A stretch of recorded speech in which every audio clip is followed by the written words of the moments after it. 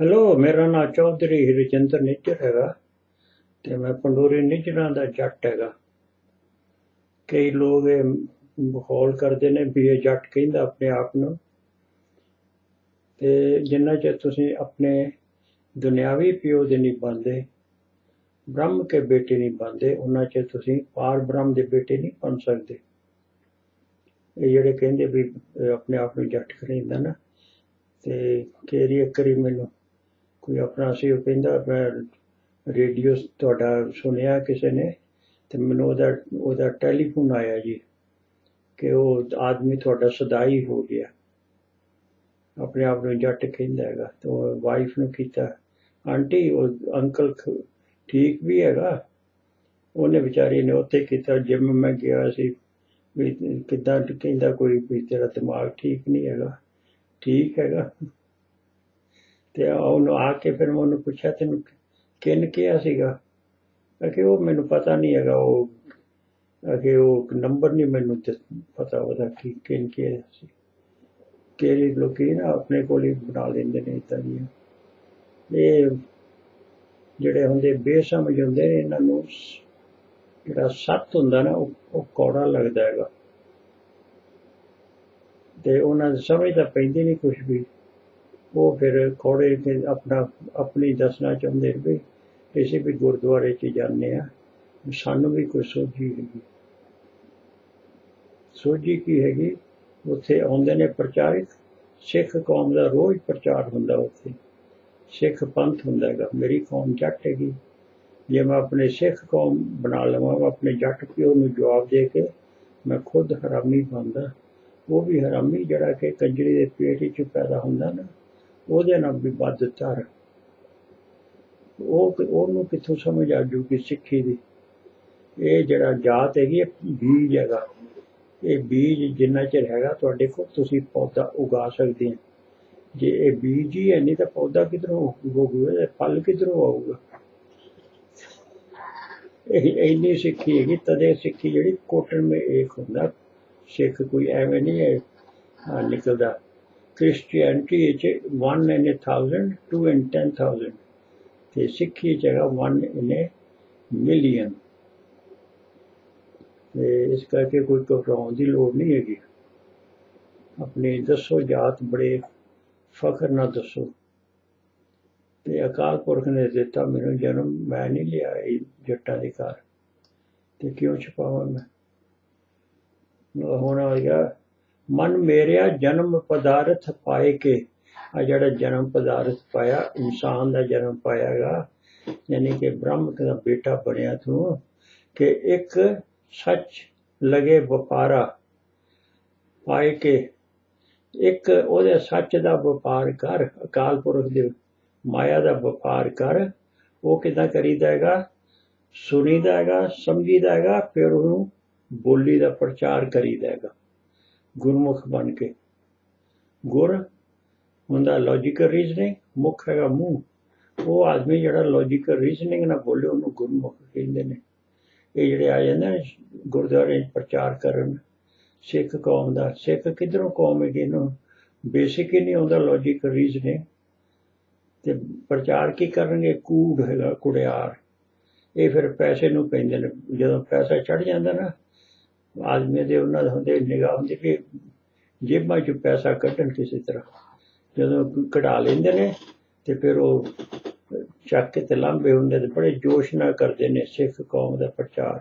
ਹੁਣ ਸਾਡੇ ਸਿੱਖ ਉੱਥੇ ਬਣ ਜਾਣਾ, ਖਾਲਿਸਤਾਨ ਬਣ ਜਾਣਾ ਤੇ ਉੱਥੇ 에ਅਰਪੋਰਟ ਬਣਾਵਾਂਗੇ, ਉੱਥੇ ਸਾਡਾ ਆਊਗਾ, ਆਪਣੀ 에ਅਰਪੋਰਟ ਹੋਊਗੀ ਸਾਡਾ। ਤੇ ਤੁਸੀਂ ਬੜੇ ਧਿਆਨ ਨਾਲ ਉੱਥੇ ਜਾਓਗੇ, ਅਸੀਂ- ਤੁਹਾਡਾ ਉੱਥੇ ਬੜਾ ਕੀਤਾ ਜਾਏਗਾ ਤੇ ਠੱਗਾਂਗੇ ਪੂਰਾ ਕਿੰਨੇ? ਜਿੱਦਾਂ ਅੰਮ੍ਰਿਤਸਰੀਏ ਠੱਗ ਠੱਗਦੇ ਨੇ। ਅੰਮ੍ਰਿਤਸਰੀਏ ਅੰਦਰ ਸੜੀਏ ਬਨਾਰਸ ਦੇ ਠੱਗ ਤਾਂ ਸੀਗੇ ਨਾ। ਇਹ ਅੰਮ੍ਰਿਤਸਰ ਦੇ ਠੱਗ, ਉਹਨਾਂ ਦੇ ਵੀ ਉਸਤਾਦ ਹੈਗੇ ਨੇ। ਤੇ ਕਿ ਸਤਿਗੁਰੂ ਸੇਵਨ ਆਪਣਾ ਆਪਣਾ ਸਤਿਗੁਰੂ ਸੇਵੋ, ਆਪਣਾ ਸਤਿਗੁਰੂ ਸੇਵੀਏ, ਜੀਵਾ ਜਪੇ ਨਾਮ। ਅੰਤਰ ਸ਼ਬਦ ਅਪਾਰਾ ਅੰਤਰ ਜਿਹੜਾ ਸਤਿਗੁਰੂ ਤੁਹਾਡਾ ਜਿਹੜਾ ਹੈਗਾ, ਉਹੀ ਤੁਹਾਨੂੰ ਕੱਢ ਕੇ ਦਊਗਾ ਸ਼ਬਦ ਅੰਦਰੋਂ। ਲੌਜੀਕਲ ਰੀਜ਼ਨਿੰਗ ਕਰਕੇ। ਅਪਾਰਾ ਹੈਗਾ, ਉਹਦੀ ਕੋਈ ਹੱਦ ਨਹੀਂ ਹੈਗੀ, ਬਹੁਤ ਅੰਦਰ ਖਜ਼ਾਨਾ ਹੈਗਾ। ਅੰਤਰ ਸ਼ਬਦ ਅਪਾਰਾ, ਹਰ ਨਾਮ ਪਿਆਰਾ, ਨਾਮੇ ਨੌ ਨਿਤ ਪਾਈ। ਅੰਤਰ ਸ਼ਬਦ ਪਿਆਰਾ ਉਹ ਫਿਰ ਪਿਆਰ ਲੱਗਦਾ ਜਦੋਂ ਖਜ਼ਾਨਾ ਲੱਭਦਾ ਨਾ, ਆਦਮੀ ਨੂੰ ਹੀਰਾ ਲੱਭਦਾ ਨਾ ਉਹਦੇ ਫਿਰ ਉਹ ਉਹ ਕਦਰ ਪਾਉਂਦਾ ਸਤਿਗੁਰੂ ਵੀ ਆ ਵਾਹ ਵਾਹ ਕਿਆ ਕਹਨੇ? ਤੇ ਜਦੋਂ ਵਾਹ ਹੁੰਦੀ ਹੈ, ਸਤਿਗੁਰੂ ਦੀ ਹੁੰਦੀ, ਅੰਤਰ ਸਤਿਗੁਰੂ ਦੀ ਵਾਹ ਹੁੰਦੀ ਹੈਗੀ ਵਾਹ ਵਾਹਿਗੁਰੂ। ਤੇ ਅੰਤਰ ਸ਼ਬਦ ਅਪਾਰਾ, ਹਰ ਨਾਮ ਪਿਆਰਾ, ਹਰ ਉਹਦੇ ਨਾਲ ਪਿਆਰ ਲੱਗਦਾ। ਨਾਮ, ਨਾਮੇ ਨੌ ਨਿਤ ਪਾਈ ਨੌ ਨਿਤ ਜਿਹੜੀਆਂ ਹੈਗੀਆਂ ਨੇ, ਇਹ ਟ੍ਰਿਨਿਟੀ ਦੇ ਹਿਸਾਬ ਨਾਲ ਹਰ ਇੱਕ ਤਿੰਨ ਤਿੰਨ ਚੀਜ਼ਾਂ ਹੁੰਦੀਆਂ ਨਾ। ਤੇ ਤਿੰਨ ਤਿੰਨ ਨੌ ਤੇ ਦਸਵੀਂ ਜਿਹੜੀ ਚੀਜ਼ ਹੈਗੀ, ਉਹ ਅਕਾਲ ਪੁਰਖ ਖੁਦ ਹੈਗਾ।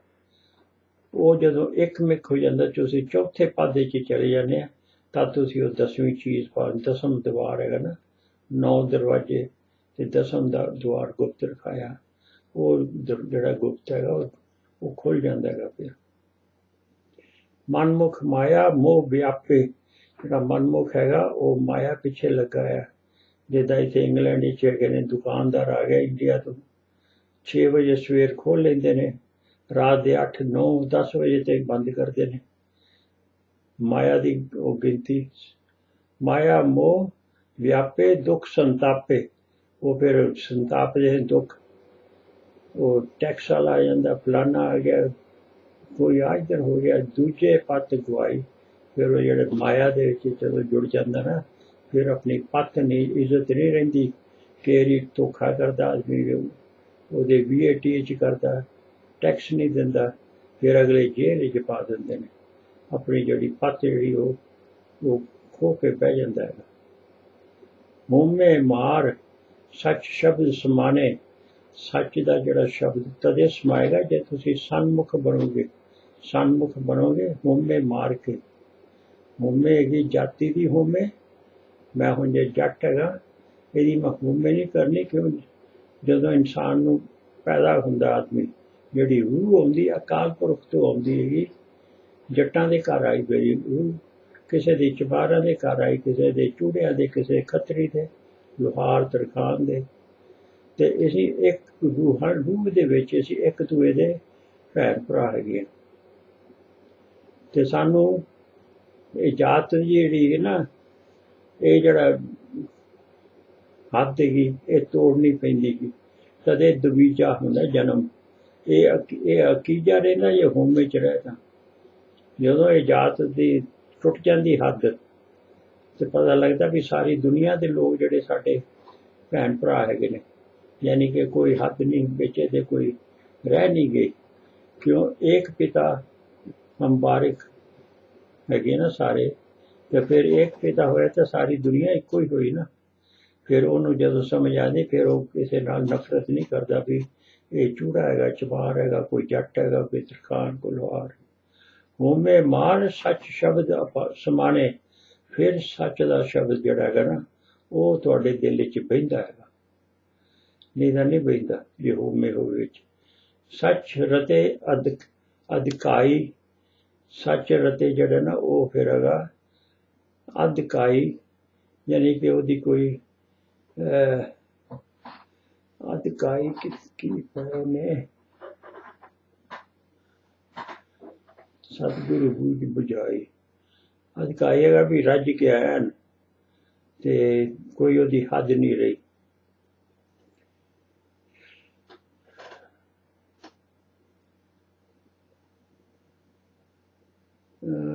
ਅਹ ਵਿਆਕਲ ਜੀ ਪਤ ਇਜ਼ਤ ਸਤਿਗੁਰੂ ਬੁਝ ਬੁਝਾਈ ਸਮਝ ਬਖਸ਼ੀ।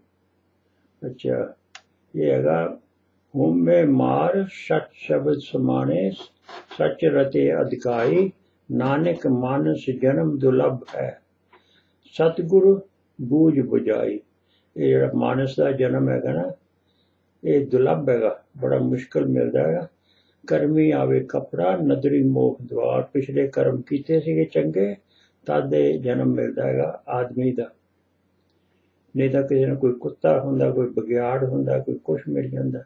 ਜਦੋਂ 9 ਲੱਖਾ ਹਾਰ ਸੀਗਾ ਜਿਹੜਾ ਲਾਹੌਰ ਵਿੱਚ ਤੇ ਉਹ ਆਪਣੇ ਸਰਾਧ ਕਰਦਾ ਸੀ ਆਪਣੇ ਪਿਓ ਦਾ। ਤੇ ਸਤਿਗੁਰੂ ਨਾਨਕ ਦੇਵ ਜੀ ਕਹਿੰਦਾ, ਉਹ ਇਹ- ਉਹ ਇਹ ਨਹੀਂ ਖਾਂਦਾ, ਖੀਰਾ ਖੂਰਾ ਨਹੀਂ ਖਾਂਦਾ, ਉਹ ਤਾਂ ਮੀਟ ਖਾਂਦਾ ਹੈਗਾ, ਮਾਸ। ਤੇ ਉਹ ਹੈਰਾਨ ਹੋ ਗਿਆ ਵੀ ਇਹ ਕੀ ਕਹਿੰਦੇ ਹੈਗੇ ਫਿਰ ਉਹ ਸੀਗਾ ਸੋਝੀ ਵਾਲਾ। ਖੱਤਰੀ ਜਿਹੜੇ ਨੇ, ਸੋਝੀ ਵਾਲੇ, ਸੁਰਤੀ ਵਾਲੇ ਹੁੰਦੇ ਨੇ ਆਮ ਤੌਰ ਤੇ। ਇਹਨਾਂ ਨੂੰ ਲਾਲਚ ਜਿਹੜਾ ਨਾ ਦੂਜੇ ਫਾਈਲ ਵਿਕ ਜਾਂਦੇ ਨੇ। ਤੇ ਕੋਈ ਕੋਈ ਹੁੰਦਾ ਜਿਹੜਾ ਨਹੀਂ ਵਿਕਦਾ। ਤੇ ਉਹਨੂੰ ਫਿਰ ਸੋਝੀ ਸੀਗੀ ਤੇ ਜਦੋਂ ਸਤਿਗੁਰੂ ਨਾਨਕ ਦੇਵ ਜੀ ਨੂੰ ਸਮਝਾਇਆ, ਤੇ ਉਹ ਕਹਿੰਦਾ, ਚਲੋ ਮੈਂ ਦਿਖਾ ਲਓ ਜੀ ਮੇਰਾ ਪਿਤਾ। ਤੇ ਉੱਥੇ ਉਹ ਚਲਾ ਗਿਆ, ਉਹਨੂੰ ਦਿਖਾ ਲਿਆ ਬਗਿਆੜ ਉਹ ਫਿਰ ਬਗਿਆੜ ਬੋਲਿਆ ਵੀ ਉਹ ਜਿਹੜੀ ਮਾਇਆ ਹੈਗੀ ਨਾ 9 ਲੱਖ, ਉਹ ਦੇ ਦੇ ਲੋਕਾਂ ਨੂੰ। ਮੇਰਾ ਮੇਰੀ ਮੁਕਤੀ ਹੋ ਜਾਏ। ਤੇ ਉਹਨੇ ਫਿਰ ਆ ਕੇ ਉਹ ਵੰਡ ਦਿੱਤੀ ਸੀ ਮਾਇਆ। ਤੇ ਇਹ ਹੈਗਾ ਜਿਹੜੀ ਮਾਇਆ ਦੀ ਪੱਥ ਹੈਗੀ। ਜੇ ਮੁਕਤ ਪਾਉਣੀ ਹੈਗੀ ਤਾਂ ਅਕਾਲ ਪੁਰਖ ਦੀ ਮਾਇਆ ਇਕੱਠੀ ਕਰੋ। ਤੇ ਇਹ ਜਿਹੜੀ ਬੁਝ- ਪੂਜ ਹੈਗੀ, ਜਿਹੜੀ ਬੁਝਾਈ ਹੈਗੀ, ਇਹ ਤੁਹਾਡੇ ਅੰਤਰ ਸਤਿਗੁਰੂ ਨੇ ਦੱਸਿਆ ਤੁਹਾਨੂੰ। ਇਹਦੇ ਬਿਨਾ ਨਹੀਂ ਕੋਈ ਤੁਹਾਡੇ ਸਮਝ ਪੈ ਸਕਦੀ। ਜਿੰਨਾ ਚਿਰ ਅੰਤਰ ਜਾਗ, ਸਤਿਗੁਰੂ ਜਾਗਿਆ ਨਹੀਂ ਹੋਇਆ, ਇਹ ਅਕਾਲ ਪੁਰਖ ਦੀ ਨਜ਼ਰ ਨਾਲ ਜਾਗਦਾ ਹੈਗਾ। ਸਤਿਗੁਰੂ ਉਹਦੀ ਨਜ਼ਰ ਨਾਲ ਮਿਲਦਾ ਹੈਗਾ। ਪੀਟਰ ਜਿਹੜਾ ਸੀਗਾ, ਜੀਜੇ ਦੇ ਨਾਲ, ਉਹ ਉਹ ਅਕੀਜਾ ਸੀਗਾ ਵਨਸ ਬੋਰਨ ਉਹਦਾ ਮਨ ਨਹੀਂ ਸੀ ਜਾਗਿਆ ਹੋਇਆ। ਤੇ ਉਹ ਜਦੋਂ ਜੀਜੇ ਕਰਦਾ ਸੀ ਨਾ ਮੇਰਾ ਮਿਰਾਕਲ ਕਰਦਾ ਸੀ ਉਦੋਂ ਬੜਾ ਖੁਸ਼ ਹੁੰਦਾ ਸੀ ਮੇਰਾ ਜਿਹੜਾ ਹੈਗਾ ਅਹ, ਰੱਬਾਈ ਹੈਗਾ ਉਹਨੂੰ ਰੱਬਾਈ ਕਹਿੰਦਾ ਹੁੰਦਾ ਸੀ ਵੀ ਆਪਣੇ ਸਤਿਗੁਰੂ ਜੀ ਜੀਜੇ ਨੂੰ ਮੇਰਾ ਰੱਬਾਈ ਮਰਦੇ ਨੂੰ ਜਿੰਦਾ ਕਰ ਦਿੰਦਾ ਆ ਕਰ ਦਿੰਦਾ ਬੜੀਆਂ ਉਹਨੇ ਕੱਛਾ ਮਾਰਨੀਆਂ ਵੀ ਮੇਰਾ ਬਹੁਤ ਵੱਡਾ ਹੈਗਾ ਉਹ। ਤੋ ਉਹ ਇੰਨੇ ਚ ਫੁੰਡਿਆ ਫਿਰਦਾ ਹੁੰਦਾ ਸੀਗਾ ਪਰ ਉਹਨੂੰ ਨਾਮ ਨਹੀਂ ਸੀ ਮਿਲਦਾ ਅਕੀਜਾ ਸੀਗਾ। ਪੈਂਟੇਕੋਸਟ ਤੇ ਉਹਨੂੰ ਫਿਰ ਜਦੋਂ holy spirit with capital S holy spirit ਜਿਹੜੀ ਹੈਗੀ ਉਹਦੀ ਅਕਾਲ ਪੁਰਖ ਦੀ ਖਜ਼ਾਨਾ ਦਸਵਾਂ ਦਸਵਾਂ ਦਵਾਰ ਜਦੋਂ ਦਾ ਖੁੱਲਿਆ ਨਾ, ਹੋਲੀ, ਉਹਦੇ ਹਲੀ, ਹੋਲੀ ਸਪਿਰਿਟ ਨੇ ਖੋਲਿਆ ਨਾ, ਫਿਰ ਉਹਨੂੰ ਸੋਝੀ ਆਈ ਸਾਰੀ ਦੁਨੀਆ ਦੀ। ਫਿਰ ਉਹ ਗਾਉਣ ਲੱਗਾ ਆਪਣੇ ਉਹਦੇ ਗੀਤ, ਸਿਫਤਾਂ। ਤੇ ਇਸ ਕਰਕੇ ਇਹਨੂੰ ਕਿੰਗਡਮ ਆਫ ਹੈਵਨ ਤੇ ਹੈਲ ਦੀ ਨਾ ਜਿਹੜੀ ਇੱਥੇ ਹੈਗੀ, ਇਸ ਦਾ ਉਹਨੂੰ ਇੰਚਾਰਜ ਬਣਾਇਆ ਸੀਗਾ। ਇਹ ਸੀਗਾ ਗੇਟਕੀਪਰ ਚਰਚ ਆਫ ਗੋਡ ਦਾ। ਜਿਹੜਾ ਕੋਈ ਝੂਠ ਬੋਲਦਾ ਸੀ, ਉਹਨੂੰ ਮਾਰ ਦਿੰਦਾ ਸੀ। ਅਨਿਆਸ, ਸਫੀਰਾ ਦੋ ਸੀਗੇ, ਉਹਨਾਂ ਨੇ ਆਪਣੀ ਪ੍ਰਾਪਰਟੀ ਵੇਚ ਕੇ ਨਾ ਤੇ ਪੀਟਰ ਨੂੰ ਦਿੱਤੇ ਪੈਸੇ ਲੈ, ਆ ਆ ਗਏ ਨੇ। ਉਹ ਕਹਿੰਦਾ ਵੀ ਇਹ ਪੂਰੇ ਨਹੀਂ ਹੈਗੇ, ਬਾਕੀ ਦੇ ਕਿੱਥੇ ਗਏ ਜਿਹੜੇ? ਤੇ ਇੰਨੇ ਨਹੀਂ ਹੈਗੇ, ਤੁਹਾਡੀ ਜ਼ਿਆਦਾ ਹੈਗੀ ਪ੍ਰਾਪਰਟੀ ਦੀ ਕੀਮਤ। ਤੇ ਤੁਸੀਂ ਬਾਕੀ ਦੇ ਕਿੱਥੇ ਨੇ? ਉਹਨਾਂ ਰ- ਲੁਕੋ ਲਿਆ ਸੀ ਦੋਨਾਂ, ਤੀਵੀਂ ਤੇ ਆਦਮੀ ਨੇ ਸਲਾਹ ਬਣਾ ਕੇ ਵੀ ਆਪਾਂ ਇੰਨੇ ਹੀ ਦਸੀਏ। ਫਿਰ ਉਹਨੇ ਜਦੋਂ ਉਹਨੇ ਕਿਹਾ, ਤੁਸੀਂ ਝੂਠ ਬੋਲਿਆ ਨਾ, ਉਹਨੇ ਫਿਰ ਉਹਨੂੰ ਮਾਰ ਦਿੱਤਾ। ਤੀਵੀਂ ਆਈ, ਉਹ ਵੀ ਝੂਠ ਬੋਲੇ। ਜਿੱਦਾਂ ਆਦਮੀ ਨੇ ਸਿਖਾਈ ਸੀ। ਉਹਨੇ ਵੀ ਮਾਰ ਦਿੱਤਾ, ਦੋਨਾਂ ਨੂੰ ਦਫਨਾ ਦਿੱਤਾ ਉਹਨਾਂ ਨੇ। ਤੇ ਇਹ ਸੀ ਉਹਦੀ ਕੋਈ ਝੂਠਾ ਆਦਮੀ ਨਹੀਂ, ਚਰਚੇ 'ਚ ਜਾਣਾ ਚਾਹੀਦਾ। ਪਰ ਜਦੋਂ ਉਹ ਮਰ ਗਿਆ ਨਾ ਇਹ ਸਾਰੇ, ਫਿਰ ਇਹ ਜਿਹੜੇ ਜੀਵ ਸੀਗੇ, ਜਿਹੜੇ ਉਹਦਾ ਸੈਕ ਕੀਤੇ ਸੀ, ਟੈਂਪਲ ਵਿੱਚ ਟੈਂਪਲ ਸੜਿਆ ਸੀ ਨਾ, ਇਹ ਉਹ ਜਿਹੜਾ ਟੈਂਪਲ ਹੈਗਾ ਹੋਲੀਐਸਟ ਆਫ ਹੋਲੀ ਉਹ ਹੁਣ ਅੰਮ੍ਰਿਤਸਰ ਹੈਗਾ ਨਾ ਸੇਮ ਸਾਈਜ਼ ਹੈਗਾ। ਇਹਦਾ ਪਰਦਾ ਜੀਜੇ ਨੇ ਪਾੜਿਆ ਸੀਗਾ। ਤੇ ਉਸੇ ਸਾਈਜ਼ ਦਾ ਹੈਗਾ। ਤੇ ਇਹ ਫਿਰ ਜਦੋਂ ਮਰ ਗਏ, ਉਹ ਅਪੋਸਲ, ਨਿਰਮਲ ਸੰਤ ਉਹਨਾਂ ਦੇ, ਫਿਰ ਇਹ ਜੀਵ ਜਿਹੜੇ ਟੈਂਪਲ ਚੋਂ ਕੱਢੇ ਹੋਏ ਸੀ ਨਾ, ਸੜ ਗਿਆ ਤੇ ਟੈਂਪਲ ਤੇ ਕੋਈ ਕਿੱਥੇ ਜਾ ਫਿਰ? ਨਕਾਰਾ ਹੋ ਗਿਆ ਨਾ। ਉਹਨਾਂ ਨੇ ਫਿਰ ਚੋਲੇ ਚਾਲੇ ਪਾ ਕੇ ਤੇ ਚਰਚ ਆਫ ਗੋਡ ਵਿੱਚ ਆ ਗਏ ਤੇ ਨਾਲ ਲੈਂਦਾ ਟੋਰਾ। ਟੋਰਾ ਜੀਵਾਂ ਨੂੰ ਬੜਾ ਪਸੰਦ ਹੈਗਾ। ਤੇ ਦੋਹਰਾ ਹੈਗਾ ਪੋਇਜ਼ਨ ਹੈਗਾ ਇਹ ਇਹ ਕੀ ਆਪਣੇ 올ਡ ਟੈਸਟਾਮੈਂਟ ਜਿਹੜਾ ਹੈਗਾ ਨਾ ਜਿਸਮ ਦੇ ਉੱਤੇ ਲੱਗਦਾ ਨਾ, ਇਸ ਕਰਕੇ ਉਹਨੂੰ ਲੈਣ ਦਾ ਅੰਦਰ ਤੇ ਆੜ ਕੇ ਲੋਕਾਂ ਨੂੰ ਫਿਰ ਪੜਾਉਣਾ ਸ਼ੁਰੂ ਕਰ ਦਿੱਤਾ ਹੈ।